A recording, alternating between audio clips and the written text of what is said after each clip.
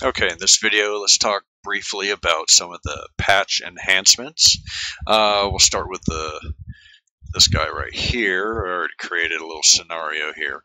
So I'm going to hit, hold down Alt, select that border. It should get that open border there for you.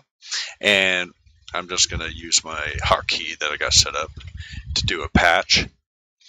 And as you can see right off the bat, uh, we got some new details whereas previously this was in 1.1 this these were dots and now they're these little these little uh, I don't know what do you want to call them whatever it's just some indicators of what level of smoothness is going on here.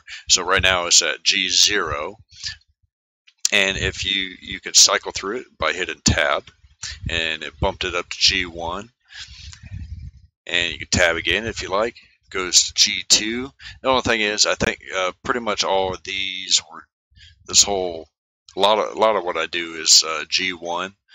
I don't do G2 too often, and so it has a tendency to fail at that point, at least on this particular model. But if you did everything in G2, it might uh, patch it just fine.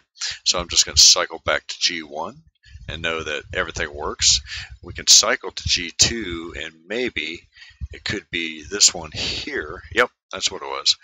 That particular uh, bevel right there is probably a G1, so it doesn't want to blend uh, at that level, whereas down here it can easily smooth across at a G2.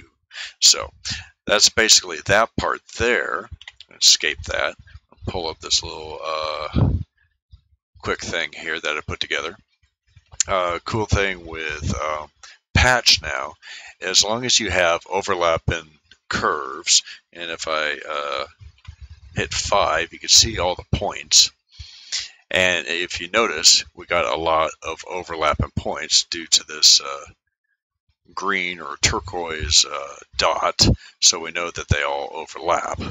So, but the cool thing about this is I could take this one, this one, this one, and say like that one, and if I do my patch command, you can see it trims off all the excess and generates a patch in that center area.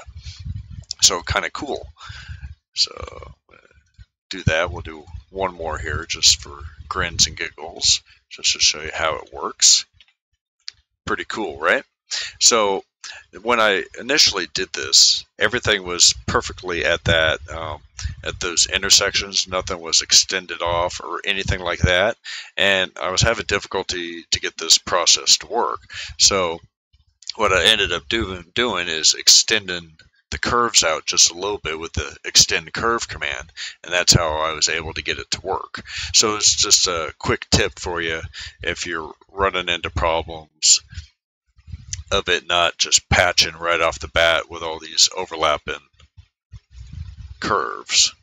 So as long as they extend out a little bit, uh, Plasticity will be able to figure it out that it's at the intersections that it needs to trim it.